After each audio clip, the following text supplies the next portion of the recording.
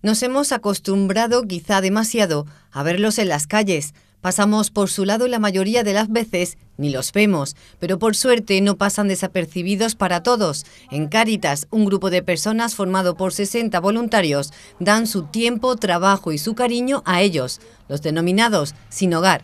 Para ello, Cáritas Diocesanas de Córdoba cuenta con un programa para personas sin hogar.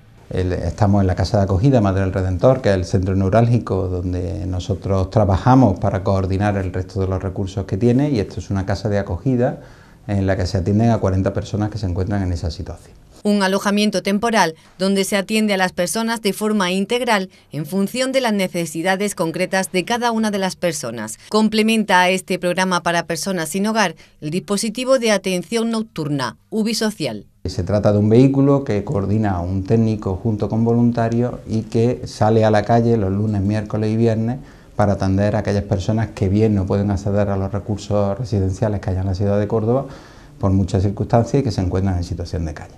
A través de un recorrido con esa furgoneta pues van a ir acercándose a ellos para proporcionarles las necesidades que, que podemos ofrecerles en este momento. Ya se acerca el frío, pues un saco de dormir, manta, ropa, eh, algo de, comida, normalmente suelen llevar caldo, leche, bocadillos dulces y sobre todo pues la cercanía y el, poner el corazón que late, que es lo que nos marca Carita, pues para que estas personas pues se sientan reconfortadas dentro de la terrible realidad que tienen. Onda Mezquita ha vivido con cinco voluntarios una de las tres salidas semanales que realizan y hemos comprobado el cariño que ponen en esta labor, en la que no miran el tiempo y el esfuerzo que dedican, solo miden la ayuda que pueden aportar a las personas sin hogar. Eh, recorremos casi toda la ciudad de Córdoba, empezamos por el barrio de la Fuensanta y continuamos por Vía Norte, Ciudad Jardín, zona del Zoco y ya bajamos un poquito para lo que es la zona centro.